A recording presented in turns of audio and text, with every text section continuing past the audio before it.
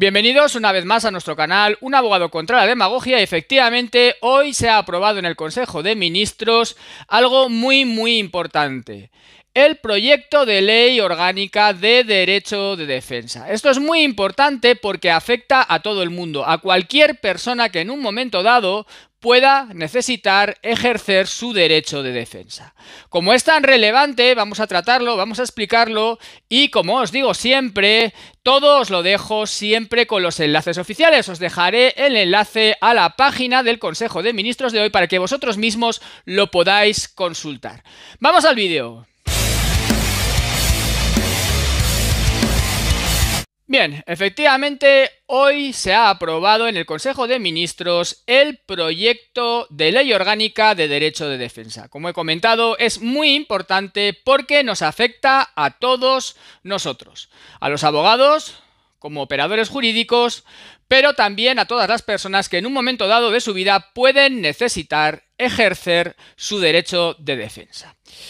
Y dicho esto, os dejo el enlace, como siempre, a, en este caso, la página del Consejo de Ministros donde se incluye esta información. La página oficial, en la descripción del vídeo, como siempre, porque yo no me invento nada, os dejo siempre los enlaces. Os lo explico ahora. El Consejo de Ministros ha aprobado, se dice, este proyecto de ley orgánica del derecho de defensa. Os pido, por favor, eso sí, que me dejéis un like como siempre para que yo sepa que este vídeo os interesa. Y este, bueno, este proyecto tiene por objeto desarrollar este derecho fundamental, inalienable e indisponible que recoge el artículo 24 de la Constitución española, que es el artículo que lo consagra. Y lo consagra dentro de un conjunto de garantías y facultades. Y dice que tiene cinco ejes esta ley orgánica. Y esto es muy importante y lo vamos a comentar. Cinco ejes sobre los que se va a basar nuestro derecho de defensa. El desarrollo del derecho se articula, por tanto, en cinco ejes. El primero comprende el libre acceso a los tribunales de justicia, a un proceso sin dilaciones indebidas y a que se dicte una resolución congruente y fundada en derecho por el juez ordinario e imparcial predeterminado por la ley.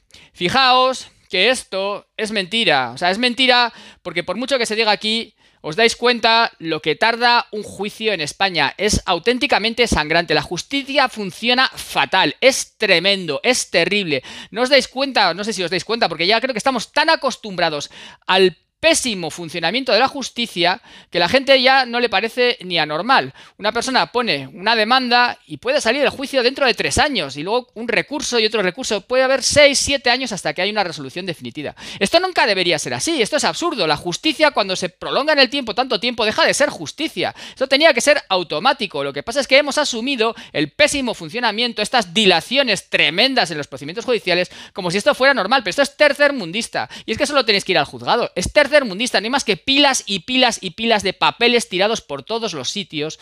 Vamos, por supuesto incumpliendo la ley orgánica de protección de datos, que no permite tener esos papeles así, pero vamos, que la tramitación es lentísima, lentísima, funciona fatal. Por tanto, esto de libre acceso sin dilaciones indebidas es mentira. Y luego se dice que tienes derecho a una resolución fundada por un juez ordinario e imparcial. Bueno, eso es en principio lo que debería ser, pero ¿qué es lo que ocurre? Que los políticos, ya sabéis, y muchas más personas, tienen la prerrogativa de los aforamientos, por tanto no tienen un juez ordinario como todos nosotros. Eso es lo primero, porque tienen privilegios, son los nuevos nobles. Y lo segundo es que el juez predeterminado por la ley que se establece aquí no es un juez que, como se dice aquí, tiene que ser absolutamente imparcial porque en las altas instancias los jueces están colocados por el gobierno o por los políticos, es decir, la cúpula del Poder Judicial, Tribunal Supremo y Tribunal Constitucional, por eso se pegan siempre, están colocados allí sus integrantes por los políticos. De tal modo que hablar de imparcialidad es de broma, es de risa. Para ello sería necesario que los políticos no metieran mano en la justicia, que no colocaran ni siquiera a los miembros del Consejo General del Poder Judicial, que no colocaran ni pudieran nombrar a nadie del Tribunal Constitucional, ni tuvieran mano para que luego eso determinara que las personas que están en el Tribunal Supremo también dependieran al final de los políticos, por depender también del Consejo General del Poder Judicial y meter mano ahí también el gobierno, el Parlamento, los políticos en general. Mientras ocurra eso, mientras no haya independencia judicial en las altas esferas, pues esto es simplemente una declaración de intenciones totalmente falsa. Por eso ya habéis visto que se han pegado constantemente para poner los magistrados que han querido al Tribunal Constitucional y no se ponen de acuerdo en, al final, poner los miembros del Consejo General del Poder Judicial, que ya sabéis que lleva cuatro años en funciones, que debería haber cambiado ya sus miembros, pero no se ha hecho, no se ha hecho porque los partidos políticos no se ponen de acuerdo porque todos quieren poner allí a los suyos para que no haya imparcialidad, obviamente, porque si les diera igual que hubiera o no hubiera imparcialidad, dejarían perfectamente que se colocaran unos miembros imparciales. Tanto interés tienen en colocar a los suyos es porque no quieren que haya imparcialidad. En segundo lugar, se dice que de forma específica para las causas penales, el derecho de defensa íntegra debe ser un derecho a ser informado de la acusación, a no declarar contra uno mismo, a no confesarse culpable, a la presunción de inocencia y a la doble instancia. Bien, esto ya está ahora mismo recogido en la ley de enjuiciamiento criminal, no, no, vamos, no añade nada. Eso sí, lo de la presunción de inocencia que se lo explique a Irene Montero, porque una persona no es culpable hasta que no se demuestra lo contrario. Por tanto, pues bueno, eso de yo sí te creo, cosas similares, pues van absolutamente en contra de esta propia ley orgánica que el gobierno ha aprobado en su proyecto hoy. Una persona, vuelvo a insistir, es inocente salvo que se demuestre lo contrario. No somos presuntos culpables, ni siquiera aunque seamos hombres. En tercer lugar, se dice, y son cinco, voy acabando, en tercer lugar, las leyes procesales salvaguardarán el principio de igualdad de las partes en el proceso. Bueno, esto simplemente es algo básico, no añade nada y vuelvo a insistir en que no hay igualdad de las partes en el proceso por varias cosas. Una de ellas, por ejemplo, es que la fiscalía depende del gobierno y como depende del gobierno, pues ya no hay una igualdad de las partes porque la fiscalía va a obedecer las órdenes del gobierno. Se dice que en cuarto lugar, la norma proyectada prevé de forma expresa que la utilización de los medios electrónicos en la actividad de los tribunales y la Administración de Justicia deberá ser compatible con el ejercicio efectivo del derecho de defensa en los términos previstos en las leyes. Bueno, me parece bien, pero no añade absolutamente nada. Fijaos que han estado los letrados de la Administración de Justicia, antiguos secretarios, han estado dos meses de huelga. Dos meses de huelga por 400 euros cuando los políticos están cobrando un montón de dinero y nos han tenido paralizada la justicia. Y ahora son el resto de funcionarios los que se ponen de huelga porque también quieren cobrar más. ¿Por qué? Pues porque se les paga muy poco, las cosas como son. Tampoco es que tengan que trabajar muchísimo, pero se les paga muy poco. Por tanto, mm, es lógico que se pongan en huelga porque aumentan sus funciones y no aumentan sus retribuciones. Y el gobierno que ha estado haciendo dos meses, nada, de nada, de nada. No ha hecho nada el gobierno, no ha hecho nada y ha dejado dos meses parados los juzgados que ya de por sí arrastran una tremenda dilación en todos los procedimientos, como sabéis.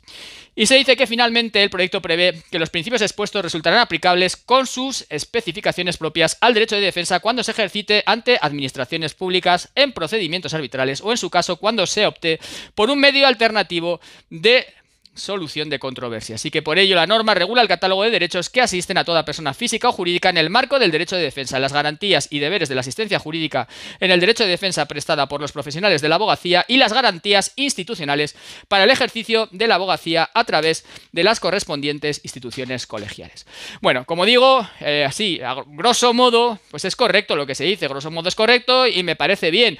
La cuestión es a ver cómo esto se desarrolla en realidad y cómo se corrigen todos esos vicios que acabo de deciros y que se deberían corregir para que esto sea realmente un Estado de Derecho, para que haya separación de poderes y para que no haya estas dilaciones indebidas absolutamente intolerables en un país avanzado. Si conseguimos ir hacia ello, pues podremos tener realmente un derecho de defensa a las personas. Si no se avanza hacia eso, pues realmente no hay un derecho de defensa. Estamos sometidos a unos jueces o juzgados que en las altas instancias son políticos, tenemos dilaciones grandísimas y tenemos políticos con privilegios, juzgados específicos para ellos, porque tienen aforamientos, el fiscal, dependiendo del presidente del gobierno, del gobierno, y el Consejo General del Poder Judicial, ahora que está en funciones, cuatro años, bueno, en fin, todo esto ya lo sabéis, no me voy a repetir en algo que sabéis más que de sobra. Veremos a ver cómo se acaba desarrollando. Os dejo abajo, por supuesto, el enlace y como siempre, para que vosotros mismos lo podáis ver. Pasad por mi canal de Telegram, suscribíos con campanitas si estáis suscritos. Podéis uniros al canal, unirse al canal es lo que más me apoya, porque al final es lo que más apoya un con, pues bueno, la teclita esa que pone unirse y bueno, he recuperado el canal, eh, ya me habéis preguntado muchísimos, está la Guardia Civil detrás de la persona que lo ha hecho, tenemos muchos datos y espero que se dé con esa persona y que, bueno, pues que al final eh, pague por lo que ha intentado hacer y por lo que habrá hecho a muchas otras personas, porque considero que no solamente me lo habrá hecho a mí, o, sí, o quizás sí, no lo sé, porque como no sé ahora mismo exactamente quién ni por qué lo ha hecho, pero bueno, el cerco se está estrechando, así que compañeros, espero poderos dar noticias buenas en breve. Un fuerte abrazo, like, darme si no me lo habéis dado y nos vemos en siguientes vídeos.